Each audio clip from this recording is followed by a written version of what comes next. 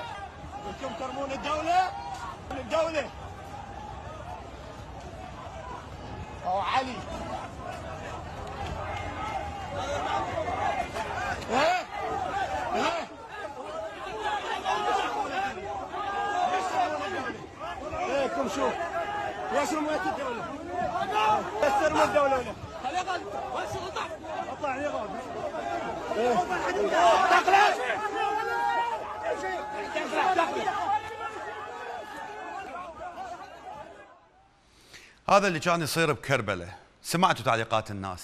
هاي الناس اللي دا يصورون هم نفسهم. هم اللي جاي يحجون. هم اللي جاي يقولون. هم اللي دا يحجون عن الإيرانيين الموجودين بالبلد.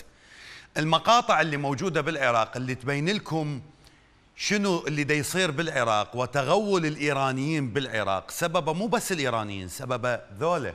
وسبب الأعلى من عندهم اللي هم السياسيين والأحزاب والكتل و و و هواي أمور. المحافظة عاشت ساعات من الضوضاء والفوضى. عاشوا الأهالي بها ساعات من الذعر والخوف بسبب اللي صار. لأنه أكو ميليشيا تعتبر نفسها من الحشد الشعبي هي جند الإمام.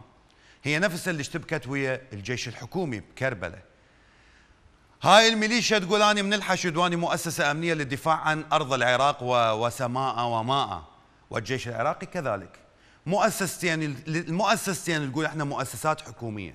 فانتم لما المؤسسات الحكومية تتضارب بيناتها شنو راح يكون حال البلد غير الذعر والفوضى؟ تعالوا نشوف سويا اللي قالوه الأهالي واللي صوروا هذا الفيديو.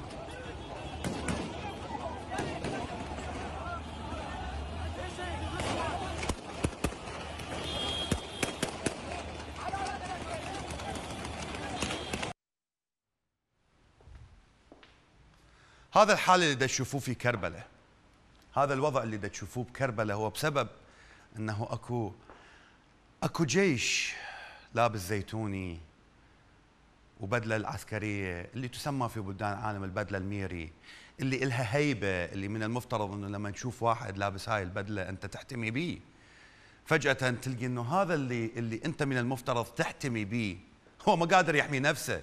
ليش؟ لأنه أكو أكو ميليشيات أكو عناصر يعتبرون نفسهم هم فوق فوق القانون. هم فوق الدولة. هم فوق رئيس الوزراء. لأنه راح يجيني واحد يقول لي أنت ليش تقول هذا الكلام؟ أذكرك حبيبي. مصطفى الكاظمي لما كان رئيس وزراء طلعوا الميليشيات وقال لولا نقص صدنك لو ما طلعوا. طلعوا الميليشيات وشمروا صور مصطفى الكاظمي اللي هو القائد العام للقوات المسلحة آنذاك رئيس مجلس الوزراء. وحطوهم بالقاع وداسوهم بالبساطيل لو لا. هددوه وضربوا ببيته صواريخ لو لا. فهم ما يحترمون الدولة. لأنه أنت إحنا بدنا نحكي هسه عن راس هرم السلطة. أعلى سلطة بالبلد هو أو أعلى سلطة هو رئيس السلطه التنفيذيه اللي هو رئيس مجلس الوزراء اللي هو نفس القائد العام للقوات المسلحة اللي حاليا محمد الشياع السوداني. وأنا كنت أحكي على مصطفى الكاظمي اللي قبله. الناس لما شافت هاي الفيديوهات وشافت حال العراق بكربلاء علقت على هذا الموضوع. وأول تعليق موجود ويانا من منصة فيسبوك أحمد الأسدي. الدولة العميقة تشوفهم راجعين للدولة وهم بالأساس ضد الدولة. بأي وقت تمس مصالحهم. حسين كاظم لو تشوف كربلاء ترعب من العسكر ما تعرف حشد دفاع داخلية أحزاب وكلها مدججة أو مدججة بالسلاح. عفوا. أحمد البكري باستطاعة الميليشيات أن تقتل أي مواطن عراقي في أي مكان أو زمان لأنها تعتبر نفسها أكبر من الدولة المزعومة وأكبر من الجيش وهي أصلا تنتقص من الجيش وهذا اللي كنا نقوله. آه، سيف السراي وجود الأحزاب والسلاح المنفلت تكون هاي النتيجة والمتضرر هو عنصر الأمن.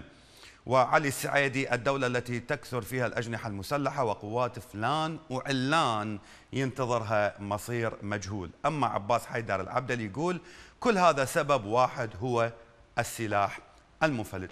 فكان هذا تعليق الناس على ما يحصل في محافظة كربلاء. عندنا اتصال من ألمانيا. أحمد حياك الله يا أحمد. بسم الله السلام عليكم ورحمة الله وبركاته. عليكم السلام ورحمة الله وبركاته. أحمد أوكي أنت مغترب وعايش بالخارج لكن أريد أسألك سؤال شنو رأيك باللي دا يصير بالبلد لما تشوف إنه أكو ميليشيات تشتبك ويا الجيش والمواطن هو الخايف؟ وما دا يفتهم يعني لحد الآن الاشتباكات اللي صارت بكربلاء بين ميليشيا تسمي نفسها ميليشيا جند الإمام وقوات الجيش العراقي المتمركزة بمحافظة كربلاء لحد الآن ما معروف سببها. ليش اشتبكوا وليش الضربة وليش صارت طلقات بالجو ما حد يعرف؟ بس الناس خافت.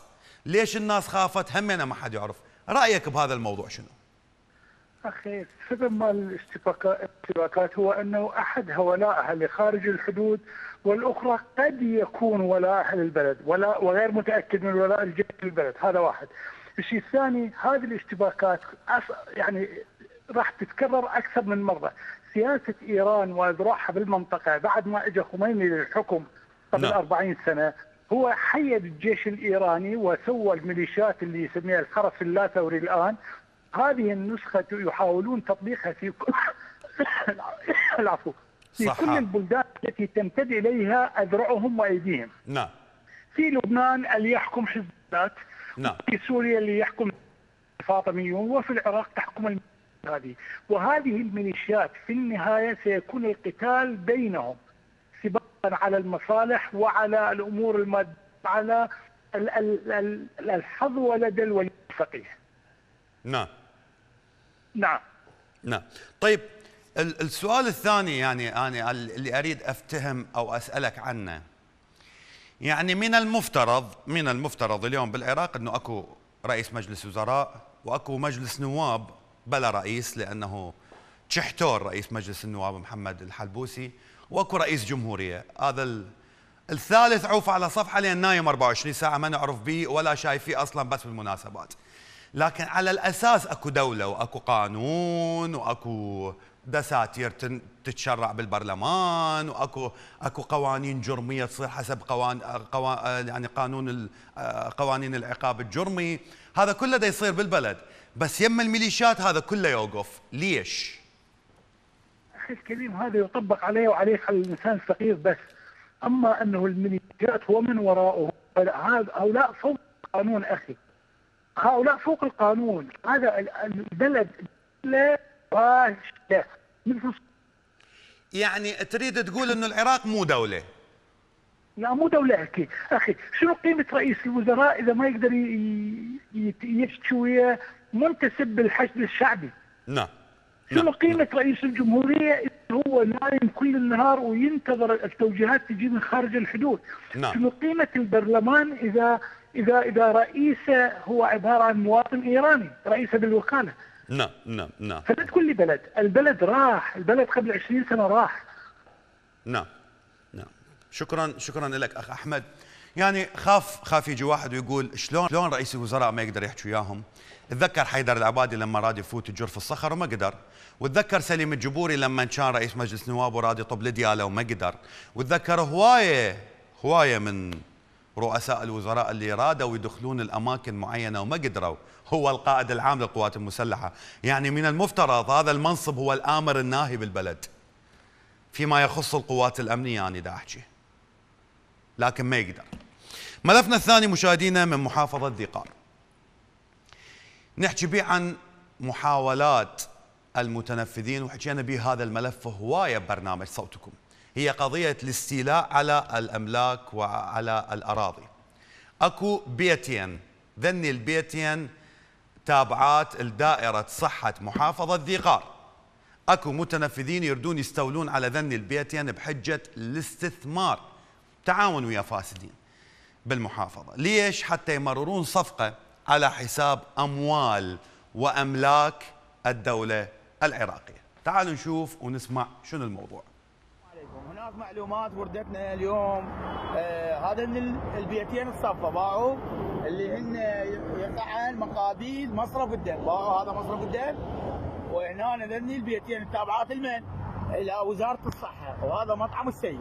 باعوا. خلينا نسولف لكم كالاتي اجتنا معلومات واردة من واحد شريف ونظيف. يقول ذني البيتين دخلوا عليها حجاج. وذول الحجاج ما شاء الله ماخذين الأخضر واليابس والكل يعرفهم. ماخذين بنايات في محافظة ديقار ما نريد نجيب طار البنايات خاف يقولون استهداف بس إحنا اليوم نعطي المعلومه حتى توصل رئيس مجلس محافظة توصل للناس المعنيين الشرفاء بالمدينة. إحنا بدل ما ذنلي البيتين إن تابعات بعد للدولة. استفاد من عندهم أحولهن مستشفى أحولهن مستوصف أحولهن لمستشفيات الأورام ذول الاحتياجات الخاصة. ما يجي الحجي مرتاح وعنده أموال ويجي ويريد يسويها مستشفى أهلي. زين إحنا مو ملينا من المستشفيات الأهلية. عندنا ما يقارب عشر مستشفيات أهلية بمحافظة ذيقار فهاي رسالتنا إلى رئيس الوزراء وإلى وزير الصحة لأن هذا الموضوع يخصك وهاي ضمن اختصاصك وضمن دائرتك وضمن وزارتك. لأن البيتين اللي جاي يشوفه يعني ما أدري كم متر الف الف ونص أنا شوية ضعيف بهاي الأمور. لكن إحنا شو نسوي؟ نعطيكم رؤوس إقلام وأنتم ترجعون وتبحثون عنها. يا ريت أعضاء مجلس محافظة الشرفاء رئيس اللجنة الصحية النيابية داخل مجلس النواب. وداخل مجلس محافظه يجي يراجع الأوراق والكتب لأن الجماعة جاي يشتغلون بيهم وجاي يكملون باجراءات يردون يفلشون إزالة ويعيدون ويسوون مستشفى أهلي. وإحنا ما نقص المستشفيات الأهلية ما شاء الله. حدث بلا خرج بلا حرج. شوفون المستشفيات الحكومية. اللي ما بيها لا أجهزة طبية لا علاجات لا نظافة كل شيء ما بيها. فهاي وصلت الرسالة اليوم.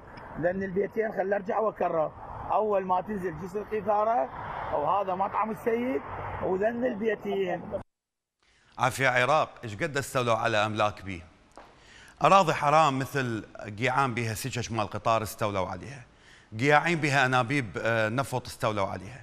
قياعين بها أسلاك الضغط العالي التابعه لوزارة الكهرباء استولوا عليها. قياعين بها جوامع استولوا عليها. قياعين بها آه، آه، متنزهات أو ما تسمى بالمساحات الخضراء في المدن استولوا عليها. قياعين بها مدارس استولوا عليها. قياعين بها أملاك تابعة للدولة العراقية همين استولوا عليها. هنا أكو تعدي على أملاك الدولة. هنا التعدي اللي دا يصير على أملاك الدولة العراقية. يعني التعدي دا يصير مو بحق شخص التعدي دا يصير بحق العراق من شماله إلى جنوبه من شرقه إلى غربه. إحنا ما نحكي عن عن أملاك المواطنين بمنطقة الجادرية. ما نحكي عن أملاك المواطنين بمحافظة بابل. ما نحكي عن أملاك المواطنين في حزام بغداد. بدنا نحكي عن عن أملاك تابعة للدولة وهاي مو أول وحدة. ضفاف انهر استولوا عليها. أملاك تابعة للدولة استولوا عليها. وهسه هنا عندكم بيتين تابعات. إلى وزارة الصحة أو دائرة صحة محافظة ديقار حتى نأكد المقطع السابق عن الموضوع اللي صار حول دني البيتين اللي صايرات آه، أو تابعات إلى دائرة صحة محافظة ديقار الناشط نفسه أكد بمقطع مصور آخر استمرار المحاولات من قبل المتنفذين والفاسدين للاستيلاء على نفس البيتين ذن البيتين. بس هنا صارت حجة الاستثمار إنه يردون يبنون مستشفى أهلية. تعالوا نشوف. طبعا تاكيدا على منشور السابق حول هؤلاء المنزلين أو البيتين اللي موجودات قرب مصرف الدم وقرب الدار السكري طبعا كثر الحديث حول هؤلاء البيتين. آه، نعرض لنا عائدات إلى وزارة الصحة لكن هناك مستثمرين حجاج عندهم نفوذ. دخلوا على هؤلاء البيتين يردون يحولون إلى استثمار. البعض قال بان مستشفى أهلي والبعض قال بان هو يكون مول يعني فإحنا نتمنى من الحكومة المحلية ودار الصحة الديقار لأن ذن عائدات لكم. لا يمكن تحويلها إلى مستشفى أهلي لأن إحنا ما عايزين مستشفيات أهلية ولا مول ولا عايزين مولات لكن إحنا نريد يعني بدورنا يعني الناس ناشدتنا هواي جايبين شفلات قبل يومين يبدون تكون ازاله لهذا البناء. إحنا شو نطالب من وزاره الصحة؟ بما إنه ذن عائدات لكم تقدرون أنتم تحولون إلى مستشفى أو إلى قسم حكومي تابع إلى صحه الدقار حتى يكون هناك إقبال للمواطنين لمراجعة هكذا دوال لأن هاي المساحة كبيرة جدا لا يمكن السكوت عليها، إحنا وردتنا كتب ومعلومات كافية بان أحد الحجاج اللي موجودين راح ياخذ هاي الأرض، فإحنا بدورنا راح نبقى آه، نتابع الموضوع وراح آه، بقدر الإمكان آه، ناشد وزارة الصحة ودائره الصحة الدقار أن يكون نجني من أجل المصلحة العامة ومن أجل المواطن يتحولا إلى بعض الأقسام التابعة إلى وزارة الصحة. لأن تعرفون إحنا محافظة ديقار وضع الصحي بها متدهور لكن هاي الأماكن الاستراتيجية وتعتبر سنتر المدينة لا يمكن السكوت عليها. فرسالة إلى الحكومة المحلية وإلى وزير الصحة هذني البيتين الكبيرتين. يعني داخلين عليهم بعض الحجاج يريدون يأخذون استثمار ويحولون إلى مستشفى أهلي. فأتمنى من اللجنة النيابية الصحية داخل مجلس النواب واللجنة أعضاء مجلس محافظة يتابعون هذا الموضوع لأن إحنا فتحنا هذا الملف وراح نبقى نتابع هذا الملف إلى أن يتحول إلى مستشفى حكومي وليس مستشفى أهلي. هذا الحال اللي بالعراق قضية استيلاء المتنفذين أو الفاسدين أو السياسيين أو التابعين إلى إلى أحزاب اللي عندهم ظهر. هاي قضية أزلية صارت بالعراق. الناس لما شافت الوضع علقت على الموضوع. حسين عبد الله الوائل يقول الناصرية تنهب على يد البرلمان والأحزاب. ليس فقط المركز الأقضية والنواحي أيضا ماكو نزاهة بالناصرية فاشلة. أركان الغالبي. ما دام الأمانة موجودة ما يظل شيء بالناصرية. الأمانة يقصد البلدية. قيصر منزلين تابعه لصحه ذقار مقابل مصرف الدم يتحولن للاستثمار مول أو مستشفى أهلية. تم الخمط بنجاح. آه ثمار الحسيناوي يقول هذه الأماكن قبل أسبوع أهالي المنطقة هم ناشدوني وقالوا نريدكم تطلعون تسوونها رأي عام. ما معقولة هيك أراضي بنص المحافظة جاي تروح؟ وليد الحسيني الناصرية بؤرة للمبتزين والفاسدين. هشام السومري كلها صفقات سياسية بين الأمين العام والسماسرة في ذي قار. المشكلة آه، آه، أكو تعليق جذب نظري. يقول يقول يتحول للاستثمار مول أو مستشفى أهلية تم الخمط بنجاح. نعم. أنا أشهد لك. mission uh, accomplished المهمة اكتملت.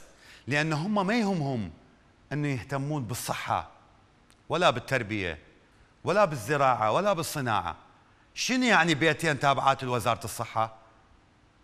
يا صحة هاي. المهم السياسي أو المسؤول أو أو أو رئيس حزب أو رئيس ميليشيا يبني له مول بدالهن يزيدن المالات بالحساب البنكي مالته. هذا المهم. أما الشعب العراقي مو مهم. هم هيك يفكرون. نروح لملفنا الثالث. ملفنا الثالث والله العظيم بيه فضيحه دولية. يعني قمنا نخجل قمنا نخجل من اللي دا يسووه السياسيين أمام العالم وشون العالم دا يشوف بلدنا. هذا البلد بلد الحضارات. هذا البلد اللي كان يسمى جمجمة العرب. هذا البلد اللي خرج علماء. هذا البلد اللي اعتمدت عليه جامعات الوطن العربي في في تعيين أساتذة تخرجوا على يد جامعاته. هذا البلد اللي كان وجهه للناس. هذا البلد اللي اللي كنا نفخر به في بطولات جيشه في خيراته في وضعه في حياته. لما نشوف شركة الخطوط الجوية العراقية ورا ما ينشر لنا شخص اسمه جوش كاهيل وهو يوتيوبر عالمي. معروف هذا الشخص بانتقاداته لشركات الطيران العالمية. جوش حياته ورايه طلع لنا بمقطع فيديو نشره على صفحته وعلى مواقع التواصل الاجتماعي وحقق مئات الآلاف من المشاهدات. انتقد به بهذا المقطع هواية من الأمور مثل سماعات الهيدفون مال الشاشات مال الطيارة بعض الطواقم وغيرها وجبات الأكل المقدمة على في الرحلة على متن الطائرة وصفها بأنه هي مو بالمستوى المطلوب في هذا الوقت تعالوا نشوف It's an absolute national embarrassment. They have literally nothing. No headphones, no pillows, no menus, no hot towel, nothing. They don't even have crew. A lunchbox, an economy class meal in business class. It doesn't worth anything if your crew sucks. So much money out of your customer's pocket. You gotta give something back. إذا كنت تأخذ سعرا عاليا من عميلك عليك أن تقدم شيئا في المقابل وبعيدا عن السعر العالي أستاذ جوش بما أنك منتقد إلى شركات الطيران الدرجة الاقتصادية الإيكونومي على متن الخطوط الجوية في أي دولة بالعالم. راح تلقي بها وجبات وراح تلقي بها مخدات وبطانيات وسماعات وأكو وسائل راحة. وأكو أيضا في حال احتاج المسافر أو إلى إلى تدخل. طبي أكو هواية من الأمور. أكو هواية من الأمور اللي قدموا لك إياها وأنت حاجز تكت على الدرجة الاقتصادية. ليست الاقتصادية المتقدمة أو رجال الأعمال أو الدرجة الأولى. فما بالك انت راكب لي الخطوط الجوية العراقية ومن القمرة اللي نشوفها ورانا أو المقصورة هو حاجز الدرجة الأولى. ويحكي لك ماكو سماعات والاكل مال درجة اقتصادية و و و وهوايه أمور. أستاذ جوش هذا الفيديو مالتك ما راح يزيد لنا شيء لأنه هذا الفيديو مالتك الناس طلعته هواية. روح شوف الفيديوهات اللي نشروها العراقيين على الخطوط الجوية العراقية وعلى شركة فلاي بغداد اللي يملكها عمار الحكيم. شركات الطيران العراقية والمطارات بالعراق صارت من أكثر المؤسسات الحكومية فسادا. أكو هواية من المقاطع الفيديوية اللي تثبت هذا الأمر وموجودة على المواقع. خلونا نروح إلى عروس الخليج العربي أو ما كانت تسمى بهذا الاسم فيما مضى عندما كان العراق جميلا في كل شيء. المهم لقينا شكوى من مواطنين نتيجة الاستغلال والجشع الواضح من قبل شركة تكسي المطار في مطار البصرة الدولي ويناشدون الجهات المختصة بالتدخل. تعالوا نسمع. وين فاتح الباب انت؟ أنت قلت أنت فاتح الباب؟ انت غير تاكسي فاتح الباب انت؟ السلام عليكم. من مطار البصرة الدولي. الاستغلال واضح. السيارة إذا مو باسمك ما تدخل وإذا وكالة ما تمشي وتفاصيل تعجيزية. وكروت السيارة من داخل المطار إلى خارج المطار سبعين ألف دينار. وين الرقابة؟ وين أكو واحد يحاسبهم دولي؟ إلى لواء حيدر غالي مدير من المطارات حاسب نهاية تركيا هذا الحال بشركة تاكسي المطار في محافظة البصرة. وكذلك في بغداد وكذلك في أي مكان. أي مكان بالعراق. اليوم الحال نفس الحال. لا تتوقعون الحال يختلف. لكن راح نبقى بالبصرة. لقينا تصريح من مدير مطار البصرة. هذا مطار البصرة الدولي. مطار البصرة الدولي بجماليته. البناء الجميل وعلما أنه هذا البناء أنبنى في سبعينيات القرن الماضي هذا مو جديد. ولا الديكورات ولا الزخارف ولا كل شيء موجود به جديد عبد الحسين محسن مدير مطار البصرة سمع شكوى من المواطنين لأنه منظومة التبريد بالمطار خربانة بصالة المغادرة. طلع دا يرد عليهم وقال السبب هو الرطوبة العالية اللي موجودة بالجو. الرطوبة العالية اللي موجودة بالجو بالبصرة هي اللي تأثر على كفاءة التبريد. وهم الجماعة ما قصروا قال رحنا للسوق اشترينا قوالب ثلج أبو المتر جبناها خليناها بالمنظومة مال التبريد حتى نعطيكم هواء بارد. تعالوا نسمع. تنزل إحنا بالشرجي التبريد مالنا تنزل كفاءته لل 50 أكو تبريد بس قليل. عارفين اليوم شنو سويت؟ اليوم أنا جايب 120 قالب ثلج. حاطن بالتبريد حتى أعدل التبريد. هسه وصل لي 20 وهسه ال 100 راح تجيني. إحنا شنو اللي دورنا؟ دورنا سوينا مشروع جديد. سوينا تبريد يشتغل على الهواء مو على الماي. المشروع هسه قيد التنفيذ يراد شهرين ثلاثة يكمل إن شاء الله. إن شاء الله السنة الجاية بعد ما نذوق الحروره اذا الرطوبه تقلل نسبة كفاءة التبريد. زين هو يريد ما شاء الله يريد يثلج. وين اثلج أنا؟ بس هسه إحنا راح نشتري قلت لك نشتري قوالب ثلج وراح ننزلها بالتبريد حتى نعادل التبريد لأن ما نريد الناس تزعل علينا. بس هي هاي إمكانية الأجهزة مالتنا.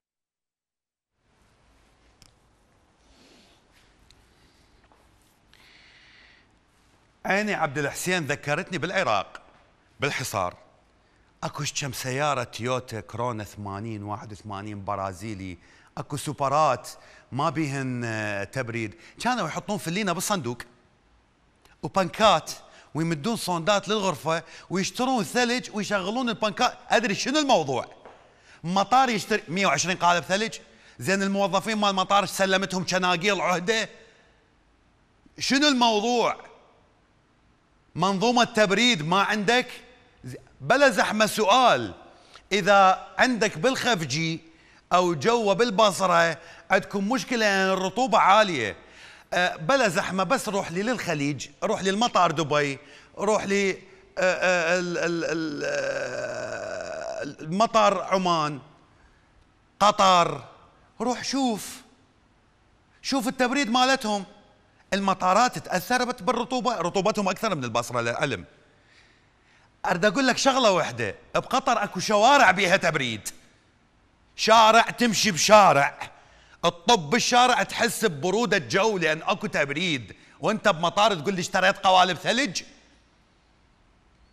آني لو مسؤول بالدولة العراقية وأسمع هذا التصريح هذا لا ما حيله تحقيق. ولا مؤبد. هذا أسوي عبرة للناس. شنو قوالب ثلج 120 قالب بدها تجيبهن للمطار وإن شاء الله السنة الجايه راح نسوي لكم منظومة تبريد آه، بالمي مبردات. شلون راح تسوون المبردات بلا زحمة؟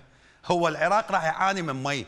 يقول لك العراق إذا بقت الحصص المائية العراقية على حالها بال 2025 المي في بعض الأنهر راح يجف.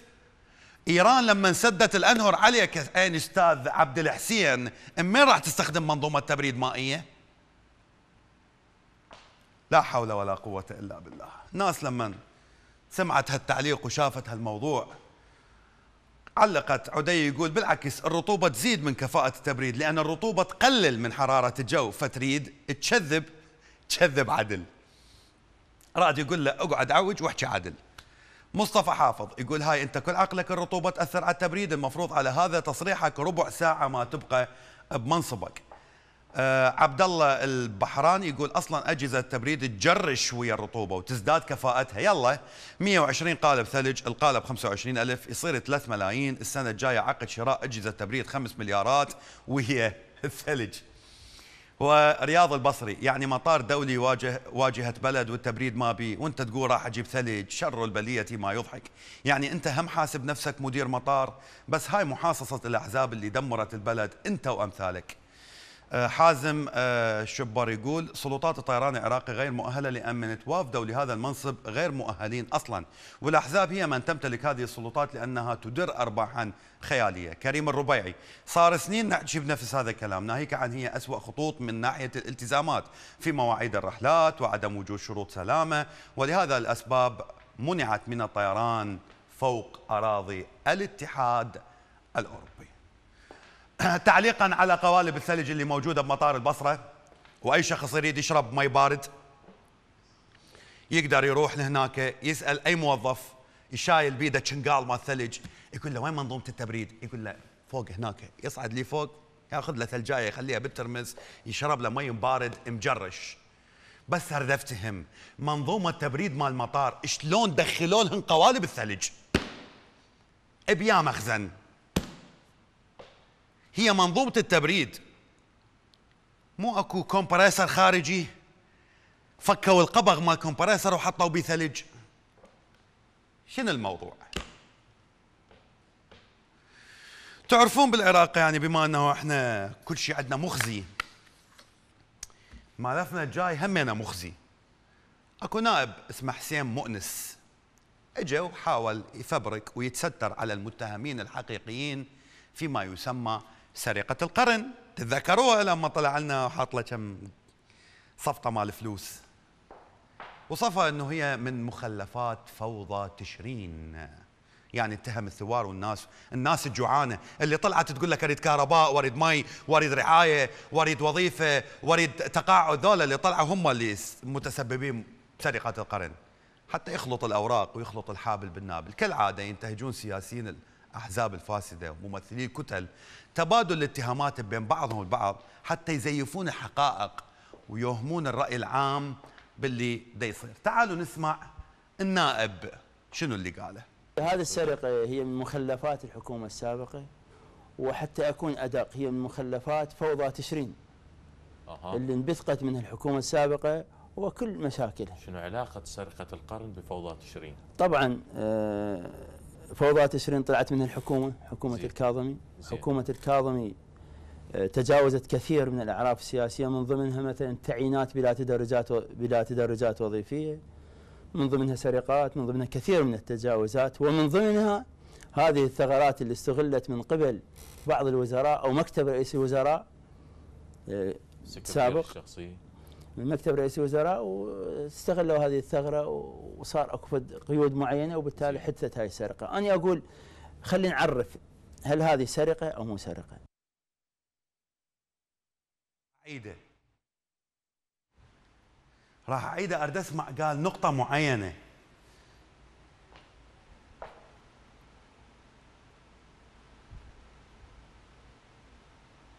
الصوت راح؟ تمام. قال حكومة الكاظمي تجاوزت الأعراف الدولية أو القانونية في تعيينات بدون آه، درجات وظيفية أو سلم صدق تحكي؟ حسوني حبيبي أبو الغيرة. أنت نور المالكي عين واحد قائد آه، عمليات بالغلط. وأكو فيديو يثبت هو بلسانه يقول له يقول له أنت صرت بالغلط قائد عمليات. وأحب أقول لك شغلة واحدة حبيب قلبي. تعرف هذا منو؟ وزير داخليتك الحالي عبد الأمير الشمري. بالغلط. تريد أزيدك بعد؟ أكو ضباط دمج هواية. مو مصطفى الكاظمي. القبلة والقبلة والقبلة. أزيدك بعد؟ أكو رؤساء جامعات ما يعرفون يقرون ويكتبون أعطيك بعد؟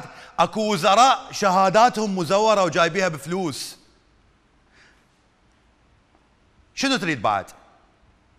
شنو التعيين ال- سفراء مدراء عامين وكلاء وزراء وزراء مدراء مطارات مدراء شركات عامة. شنو اللي موجود ب... اعطيني اليوم اعطيني اليوم وزير زراعه بالعراق. من مجلس الحكم الانتقالي إلى سنة 2024 محمد الشياع السوداني. له اختصاص بالزراعة. أعطيني وزير تربية له علاقة بالتربية أو وزير تعليم عالي. ما بيهم واحد يفتهم. إحنا عندنا إحنا عندنا مو وزراء إحنا عندنا بيوتات. هاي إلي وهاي إلك. هاي مالتي وهاي مالتك فلا تجي تقول لي فلان تجاوز. أنتم كلكم تجاوز. أنت وجودك بالبرلمان تجاوز. لأن كلامك هذا كله تجاوز. لما تتهم لي شعب ثار عليك وعلى الموجودين بسبب الفساد اللي موجود. ثار بسبب وجود صفقات أخرى غير سرقة القرن. اللي تجي تقول لازم نعرفها. هي سرقة لو مو سرقة. شو تسميها لعد؟ شو تسميها؟ أريد أسألك سؤال أستاذ حسين مؤنس. أنت عايش ببيت أبوك وأبوك يصرف عليك وأبوك نايم بالفراش وطبيت بالليل جريت من جيبه بدون علمه وطلعت تبرمكت بهالفلوس على جماعتك. سرقة لو مو سرقة. إذا تقول لي مو سرقة فانتم كل شيء ما تعرفوه عن الإسلام. أما إذا تقول لي سرقة فلا تجي تعرف لي هاي لأن معروفة. ولو أنتم برأتوه اللي طلعت الفلوس وياه مثل ما برأتوا غيره مثل ما برأتوا مجرمين قتلوا ناس. نصر يقول وسرقات الموازنات اللي قبل تشرين من مخلفات شنو؟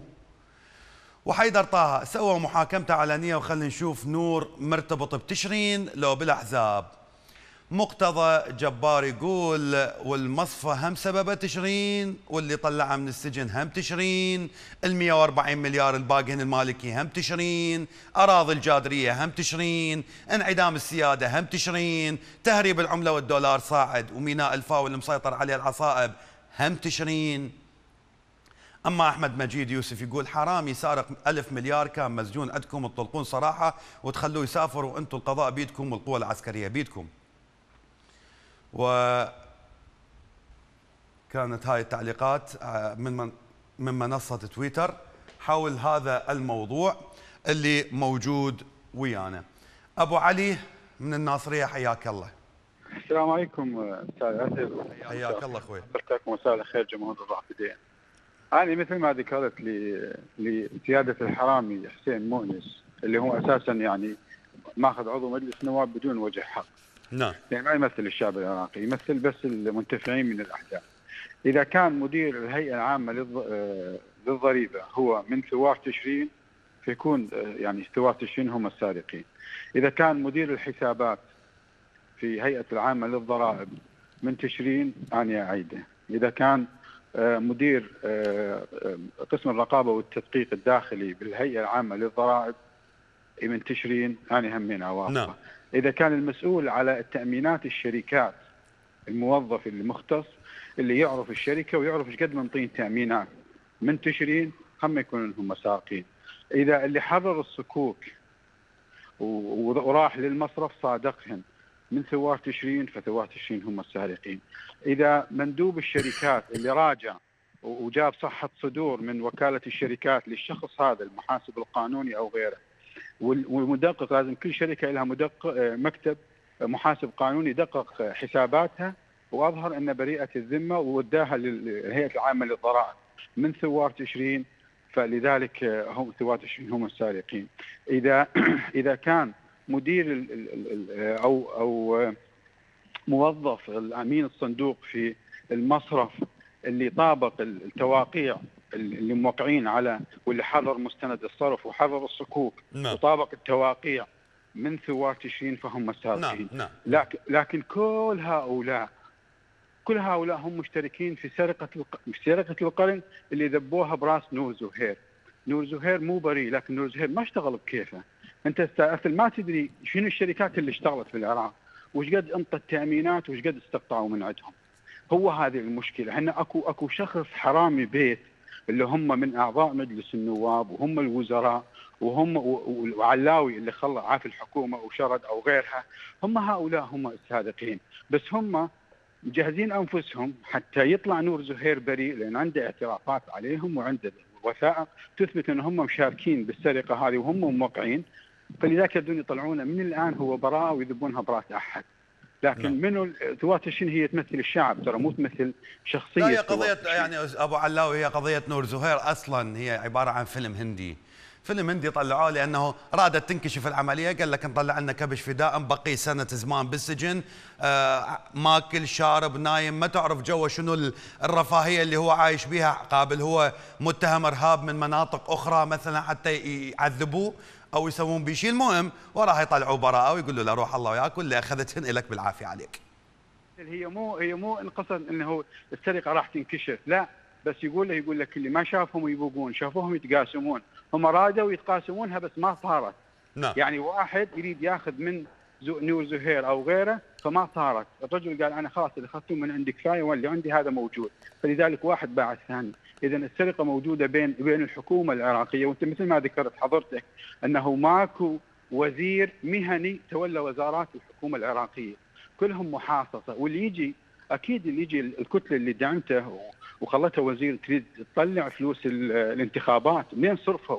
لأن ماكو أحد اليوم يقول لأي كتلة انتخابية أنتم منين صرفتوا على الإعلانات مو بس هاي أبو علاوي أكو؟ هوايه فيديوهات لنواب من ضمنهم مشعان الجبوري يأكدون أنه المناصب تشترى وتباع في العراق كرئيس مجلس نواب كوزير كأي منصب بالعراق كل منصب له سعره فهذا اللي يجيب المنصب يقول لك أنا أعطيت فلوس أريد اطلعهن بينما ال- الآن أستاذ عتل لو يقول مثلا سين من الوزراء حرامي راح يرفعون دعوة ويجرون أستاذ عتل للمحاكم بس من يجي مشعان الجبوري وغير مشعان يقول إحنا الوزراء الوزارات تباع وتعرض بالمزاد وكل من ياخذ المزاد هذا ما حد يحاسبه. ليش؟ لأنه ما أهل الحرامية وأهل بيت بيت بيت الحرامية يسمونه لكن إحنا نقول ما دام أكو قنوات فضائية وأكو صوت يوصل صوت العراق يوصل إن شاء الله حق العراق ما يروح إن شاء وأنا الله. اشكر شكرا شكرا لك أبو علاوي قسم التواصل الاجتماعي بقناه الرافدين سلط الضوء على الذكرى العاشرة لمجزرة جامع مصعب بن عمير في محافظة الديالة ب- بقرية بني ويس التابعة لناحية السعدية بقضاء خانقين.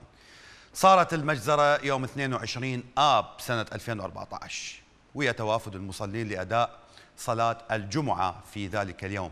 اقتحمت الميليشيات الجامع أطلقت النار بشكل عشوائي على حشود المصلين بعملية إعدام جماعية وتعد هذه الجريمة مثال حي على سياسة الإفلات من العقاب المتبعة آه، آه، في ظل الحكومات ما بعد الاحتلال الأمريكي الغاشم للعراق واللي تعاقبت على حكمه حتى تعرفون بدنا نحكي ومزيد من التفاصيل نتابع هذا الانفوجرافيك بعنوان مجزرة جامع مصعب بن عمير آخر المجازر في عهد المالكي. تعالوا نشوف.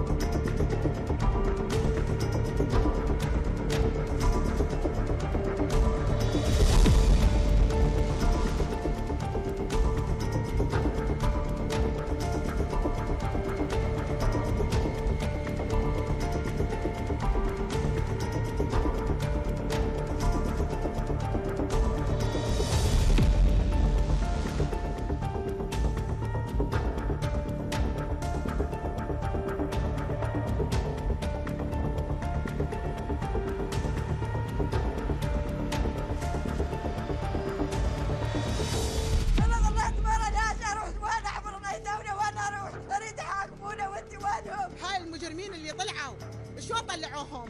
بأي حق؟ محكمة الرصافة حكمت عنهم بالإعدام، وين الإعدام لعد؟ وين الإعدام لعد؟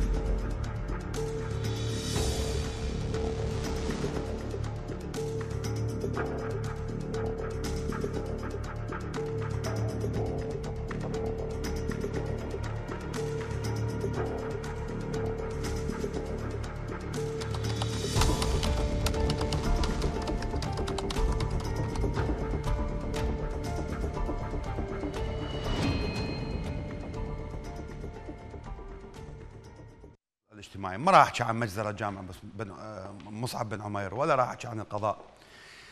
لأنه فساد القضاء هو فساد البلد فعليا. القاضي لما يكون فاسد فقر على الدنيا السلام لأنه القاضي يتعامل بقوانين الشرع. فلما يقضي بالحرام ويقضي بال- بالمخالف ويقضي بتبرئة القاتل والمجرم والسارق والفاسد ويجرم البريء ويودع السجون على على نتيجة اعترافات أخذت منا تحت التعذيب أو أخذت نتيجة تهمة كيدية أو أو أو أو مخبر سري. فأنت هنا اكو تجاوز مو بس على المواطن وعلى البلد وعلى قوانينه وشرائع شرائع هذا البلد بل حتى على الشريعة بالكامل. لأن القاضي يتعامل بقوانين الشريعة للحكم. لكن أنا لي هسه دايخ بعبد الحسين مدير مطار البصرة. 120 قالب ثلج. وين حطيتهن؟ أتمنى عبد الحسين يطلع بتصوير أو يصور لنا موظفين مطار البصرة. وين خلوا لنا قوالب الثلج؟ بالمطار. بالدكتات مال تبريد. الطامة كبرى والمصيبة أكبر. لأنه هذا مي راح يذوب. المي وين يروح؟ على رؤوس الناس.